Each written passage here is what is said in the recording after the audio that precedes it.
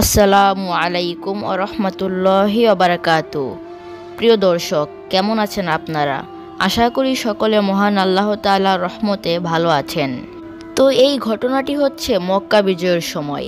আল্লাহর রহমতে যখন মক্কা বিজয় সম্পূর্ণ হয়, তখন আল্লাহ রাসুল হজরত মোহাম্মদ সাল্লাহু আলিয়াল্লাম যান কাবা ঘর তোয়াফ করতে। কাবা ঘর তোয়াফ শেষে তিনি চলে যান আজ সাফাত পর্বতে, যা কিনা কাবার খুব নিকটে অবস্থিত। তিনি পর্বতের একটি চূড়ায় আরোহণ করেন, যাতে তার উপর থেকে তিনি কাবা ঘরকে দেখতে পারেন। পর্বতের চূড়ায় দাঁড়িয়ে তিনি আকাশের দিকে দুই হাত উঠান এবং দীর্ঘ দুয়া পরিচালনা করেন। তখন আনসার মুসলমানরা নিজ থেকে তাদের নেতাকে প্রত্যক্ষ করছিলেন। আনসার মুসলমানরা মনে করেছিল যে আল্লাহ রাসুল সাল্লাহ আলিয়াল্লাম তাদেরকে নিয়ে আল মদিনা যাবেন না। তখন তাদের মধ্যে কিছু লোক এই বিষয় নিয়ে আলোচনা করতে গিয়ে বলেন যে, আল্লাহর রাসুল নিজের শহরে বাস করার আগ্রহ এবং নিজের লোকদের প্রতি অনুরক্তির কারণে আল্লাহ রাসুল মক্কার প্রতি অনুভূত হয়ে পড়েছেন। এ কারণেই তিনি মক্কায় থাকতে চাইছেন। প্রিয় ভিউয়ার্স, এই ঘটনাটি বর্ণনা করেছেন আবু হুরাইরা রাজি আল্লাহু আনহু। তো আবু হুরাইরা রাজি আল্লাহু আনহু যখন এই ঘটনা বর্ণনা করছিলেন, তখন তিনি বলেন যে, যখন আনসার মুসলমানরা এসব বিষয়ে আলোচনা করছিল, তখন এ সময়ে আল্লাহ রাসুলের উপর উহি নাজিল হয়।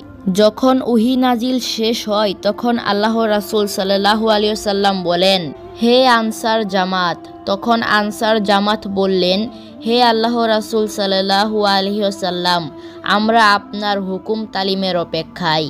আল্লাহ রাসুল তখন বললেন, তোমরা তো বলেছিলে যে এ শহর এবং এ শহরের লোকদের প্রতি আমার মমত্ব বোধের কারণে শহরটির প্রতি আমি অনুভূত হয়ে পড়েছি। তখন সেই আনসার জামাত বললেন হ্যাঁ ঠিক তাই। কিন্তু তখন আল্লাহ রাসুল বললেন, না, তা কখনও না। আমি আল্লাহর জামিন এবং তার নবী। আমি আল্লাহর দিকে এবং তোমাদের দিকে হিজরত করেছি, ফলে আমি তোমাদের সাথে বাস করব এবং তোমাদের মধ্য থেকেই মৃত্যুবরণ করব। এ কথা শোনার পর আনসার জামাত তার দিকে তাকিয়ে অঝরে কাঁদতে লাগলেন এবং তারা বলতে লাগলেন আল্লাহর কসম, আমরা যা বলেছি তা বলেছি আল্লাহ তার রাসুলের প্রতি আমাদের মহব্বতের কারণে তখন আল্লাহ রাসুল তাদের এ খারাপ ধারণার জন্য তাদেরকে ক্ষমা করে দেন এবং বলেন, নিশ্চয় আল্লাহ এবং তার রাসুল সাল্লাহু আলহিসাল্লাম তোমাদের সাক্ষ্য গ্রহণ করেছেন এবং তোমাদের তৌবা কবুল করেছেন। সুবাহান আল্লাহ প্রিয় দর্শক, আজকের এই ছোট্ট গল্পটি আপনাদের কেমন লাগল আপনারা চাইলে সেটি কমেন্টে জানাতে পারেন। তো সকলে ভালো থাকবেন এবং সুস্থ থাকবেন। আসসালামু আলাইকুম ও ওবরাকাতু